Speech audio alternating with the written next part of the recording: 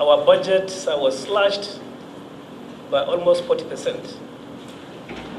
Yes, sir. So that's why we are facing this problem now. We have two streams in batch 8, 2006, sir. We just finished with stream 1, and there was stream 2 supposed to be in the camp by Friday. So as a result of that problem, we cannot mobilize them to the camp this week. Issue, so that we must find a way. them to make sure they deliver, to make sure they do their work the way it should be done. per stay, their rotation camps.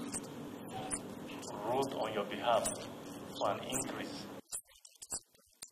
There is no way you can function very well without this money. So something has to be done about it.